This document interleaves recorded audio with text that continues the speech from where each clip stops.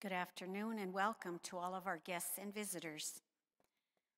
Mass today is offered for Mary Headley. Our celebrant is Father Mark. Please rise and join me in praying the entrance antiphon. Behold, the Lord will come, descending with splendor to visit his people with peace, and he will bestow on them eternal life.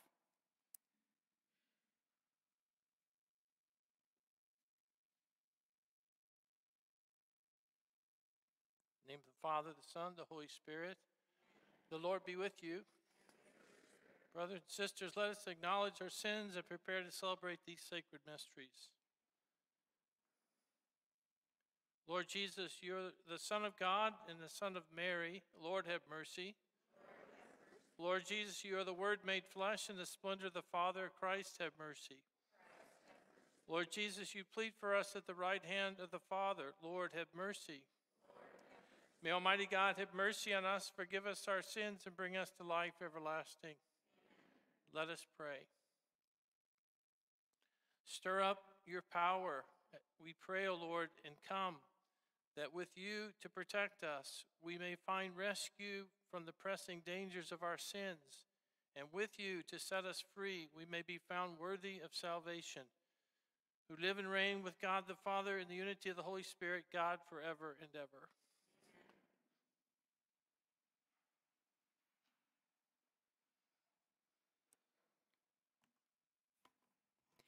A reading from the book of the prophet Isaiah.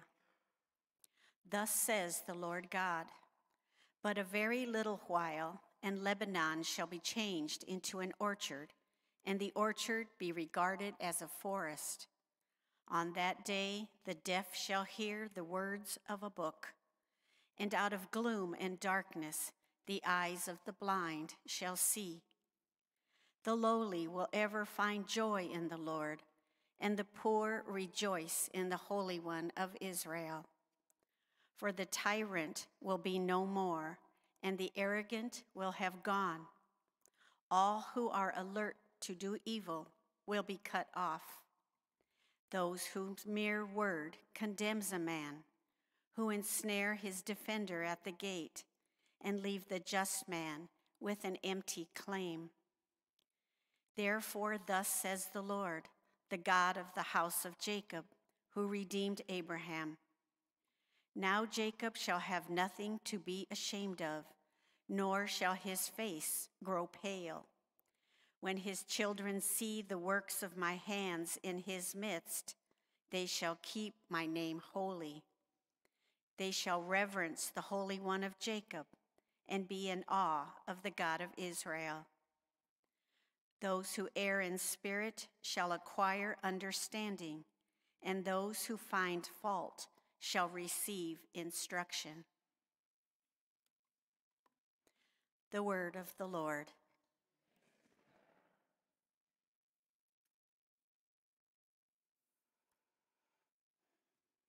The Lord is my light and my salvation. The Lord is my light and my salvation.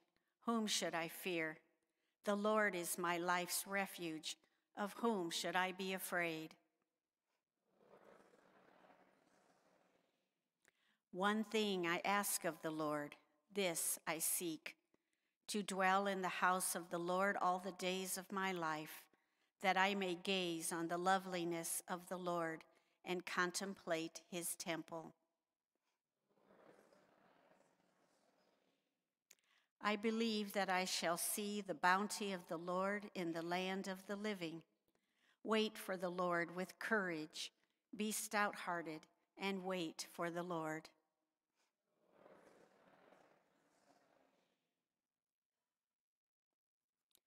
Alleluia, Alleluia, Alleluia.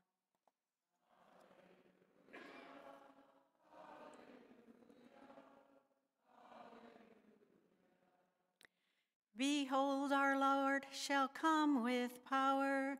He will enlighten the eyes of his servants. Alleluia, Alleluia. Alleluia. Oops.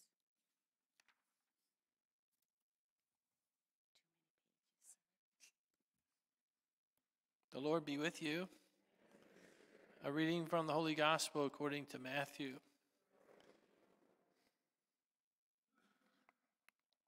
As Jesus passed by, two blind men followed him, crying out, Son of David, have pity on us. When he entered the house, the blind men approached him, and Jesus said to them, Do you believe that I can do this? Yes, Lord, they said to him. Then he touched their eyes and said, Let it be done for you according to your faith. And their eyes were opened. Jesus warned them sternly See that no one knows about this. But they went out and spread word of him throughout all the land. The gospel of the Lord.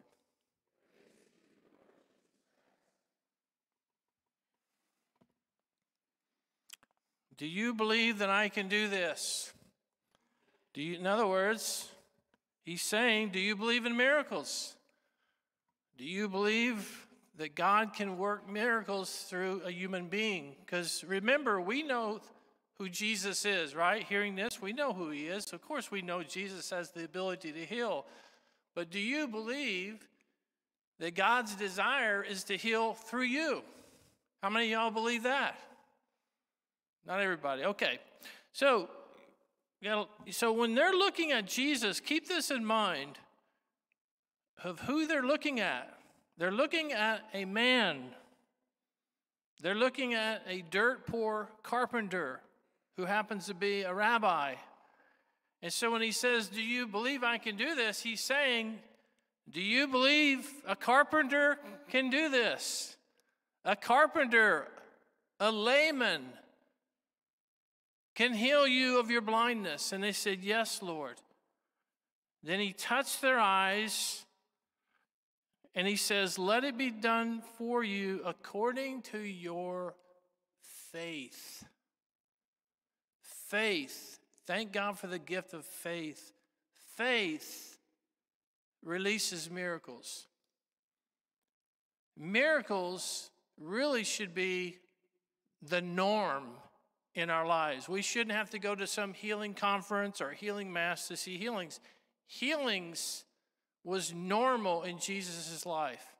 In the early church, for the first three or four hundred years, all through the church fathers, you read this. Healing was the norm. They expected healings. That's how the Catholics lived. And we got away from that over the centuries. We became bigger and bigger and grew throughout the world and became more institutionalized. And we lost touch with the supernatural. We lost touch with who we are by virtue of our baptism. That God wants to continue his mission through us. This is why Jesus established the church. This is why Jesus was born. This is why he came into our world was to seek and to save the lost. And now that he has ascended to the Father, he continues his mission through us, through the church. And so he can say this about you Do you believe you can do this? It's not going to be you that's going to be healing people, it's going to be me in you. And what does that mean to say that I believe? I mean, we profess our faith, when we say the creed, the demons believe in Christ. So, what's the difference between a demon and me and you? Hopefully, a lot. to say I believe is more than just an intellectual assent. I can sit there and say I believe all day long till the cows come home, but to believe means I stake my life on this. I'll lay down my life for this. See, God believes in you. Do you know that? You ever heard that one before? God believes in you. He, look what He's entrusted to you. He's, in, he's given you His life. He's given you baptism, confirmation. He's equipped you with all the graces you'll ever need. He's going to give you his body and blood in just a few minutes. Why? He doesn't just give us his body and blood just to give you his body and blood. He gives it to you for nourishment and strength so you can continue his healing work, his healing mission. He God believes in you. God believes that he can do miracles through you if you just have faith. And sometimes, as Catholics, we can be skeptical when it comes to the supernatural. We can become skeptical about anything that has to do with the miraculous. And I think the reason we are because our focus is on ourselves. No, you're right. You can't do that. It won't be you doing it, it's going to be Jesus in you. We just have to have faith. We have to believe. And it, what does it mean to believe? It means I trust in you. In other words, of saying I believe in you is another word for that is trust. I trust in you. I'll stake my whole life on this, Jesus. In other words, faith is willing to step out and take risk. Like I said, faith is more than just an intellectual assent to God's will or to some doctrine, right? That's that is a type of faith, right? But the faith Jesus is speaking out is the faith that it calls for us to step out. If you look it up in the catechism, the whole segment on faith, when it defines faith, it says faith is a human action. Faith is an action verb. St. James says faith without works is dead, right? Sometimes we, we have dead parishes, dead communities, because maybe are we, are we living our faith more than just going to Mass? Am I walking the walk? Am I taking risk for God? And that's when you start seeing miracles is wherever the Spirit is asking you to move today, whatever He's asking of you, am I willing to take some risk? Am I willing to pray with people? Am I willing to make a phone call to somebody I'd rather not talk to? Am I willing to reach out to somebody at work that I'd rather not reach out to? Am I willing to make myself vulnerable? Am I willing to look foolish before Christ? Look what Jesus did when he came. Look at the risk he took for us knowing that not everybody's going to accept him. That's why we killed him. Not everybody's going to accept Jesus. Not everybody's going to accept you because of who you represent. Are we willing to still live for Jesus and to take risks for him? And when we do that, that's when we're going to see miracles. That's where our eyes are going to be opened. Please stand.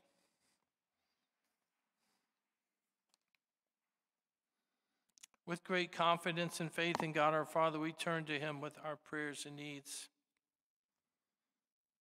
We pray for our church in this Advent season, this season of miracles, the season of hope. We pray that in this Advent season that for an increase in faith and a deeper surrender to God, we pray to the Lord. We pray for our Holy Father, Pope Francis, Archbishop Lucas, and for all of our shepherds, for the courage and the strength and the wisdom and humility we need as shepherds. We pray to the Lord. For our world leaders and for their conversion, for the healing of our nation, that this nation might be restored to being one nation under God, we pray to the Lord. We pray for those who are suffering we pray for the blind, the lame, the crippled, the deaf, those possessed by demons, all those who are suffering, that they might experience the healing power of God through us. We pray to the Lord. We pray for those who have died and those who grieve their loss, and especially the souls in purgatory who are in most need of God's mercy. We pray to the Lord. For the intentions that each of you bring to this Mass today those intentions within the heart of Our Lady and for the repose of the soul of Mary Headley, for whom this Mass intention is being offered, we pray to the Lord. Heavenly Father, we thank you so much for the gift of faith, the gift of our baptism. Lord, we do believe. Help us in our unbelief. We ask this through Christ our Lord.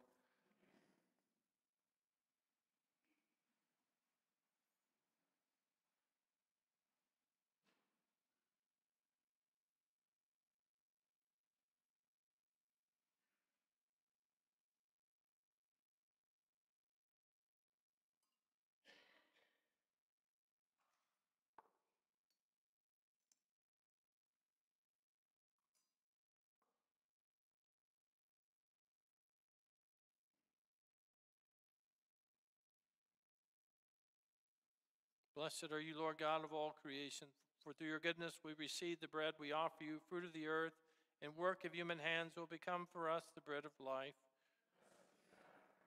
Blessed are you, Lord God of all creation, for through your goodness we receive the wine we offer you, fruit of the vine, and work of human hands will become our spiritual drink.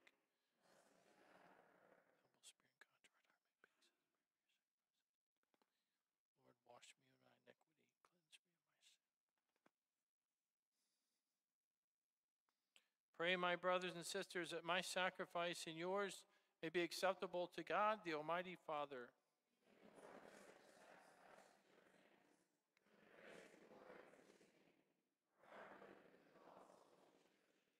Be pleased, O Lord, with our humble prayers and offerings. And since we have no merits to plead our cause, come, we pray, to our rescue with the protection of your mercy through Christ our Lord. The Lord be with you. Lift up your hearts. Let us give thanks to the Lord our God. It is truly right and just, our duty and our salvation, always and everywhere to give you thanks, Lord, Holy Father, Almighty and eternal God, through Christ our Lord.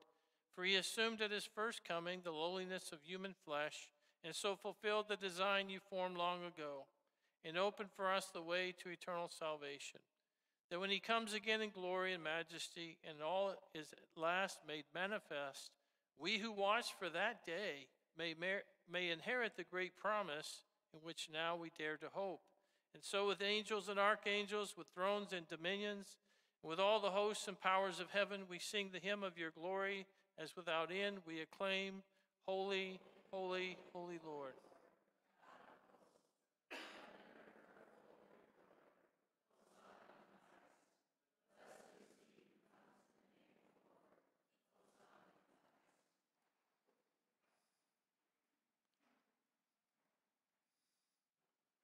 You are indeed holy, O Lord, the fount of all holiness. Make holy, therefore, these gifts, we pray, by sending down your Spirit upon them like the dewfall, so that they may become for us the body and blood of our Lord Jesus Christ.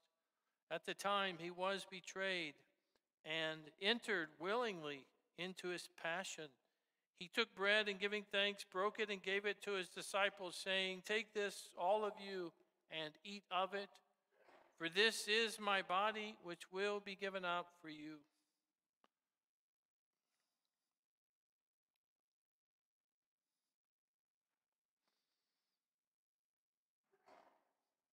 In a similar way, when supper was ended, he took the chalice, and once more giving thanks, he gave it to his disciples, saying, Take this, all of you, and drink from it, for this is the chalice of my blood the blood of the new and eternal covenant, which will be poured out for you and for many for the forgiveness of sins.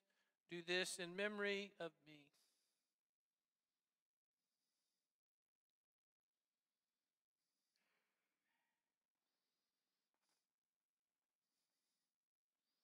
The mystery of faith. When we eat this bread and drink this cup, we proclaim your death, O Lord, until you come again.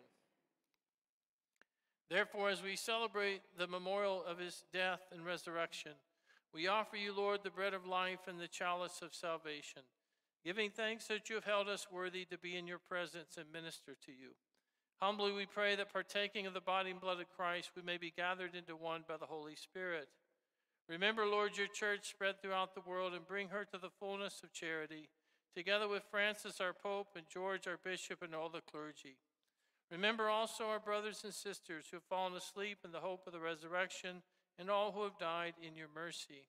Welcome them into the light of your face. Have mercy on us all, we pray, that with the Blessed Virgin Mary, Mother of God, with blessed Joseph, her spouse, with the blessed apostles, and all the saints who have pleased you throughout the ages, we may merit to be co heirs to eternal life and may praise and glorify you through your Son, Jesus Christ.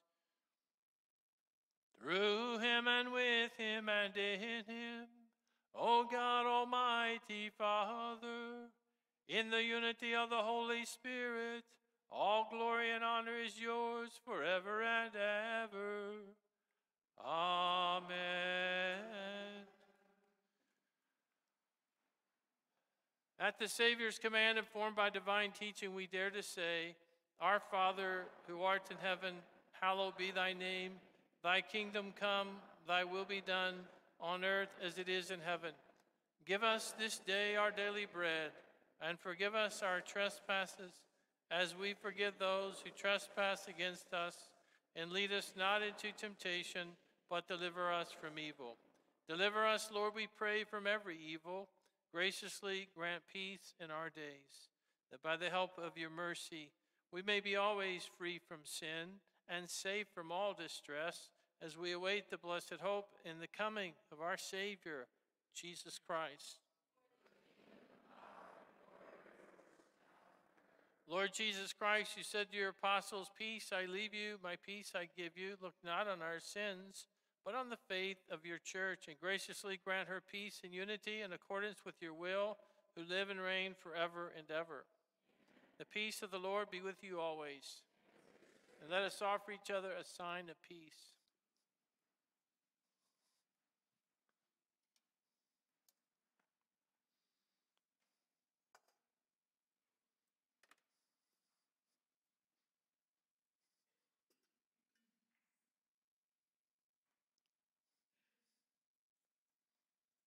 Lamb of God,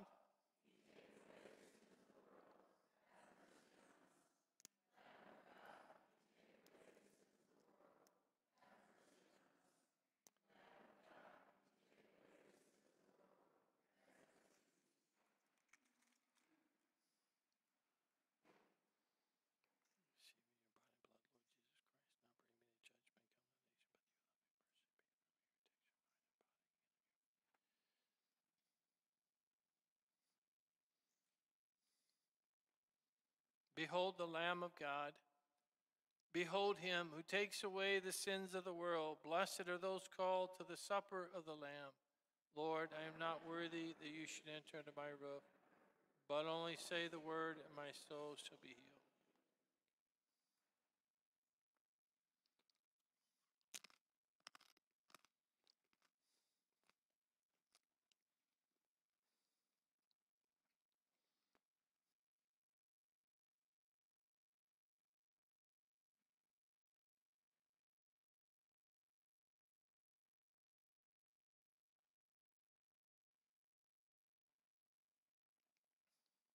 Our communion antiphon.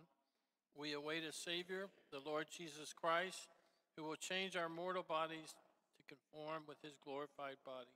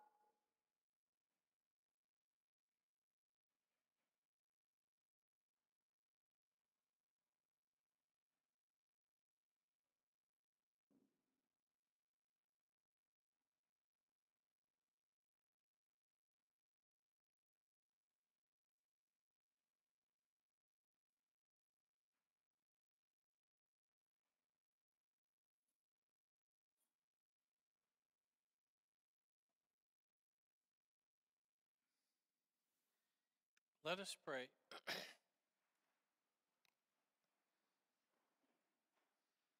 Replenished by the food of spiritual nourishment, we humbly beseech you, O Lord, that through our partaking in this mystery, you may teach us to judge wisely the things of earth and hold firm to the things of heaven through Christ our Lord. The Lord be with you. May Almighty God bless you, the Father, the Son, and the Holy Spirit. Go in peace and proclaim the good news. St. Michael,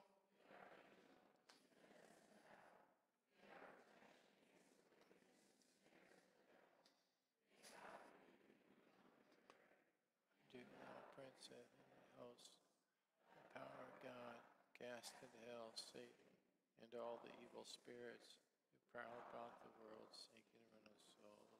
Amen. Hail Mary, full of grace, the Lord is with thee.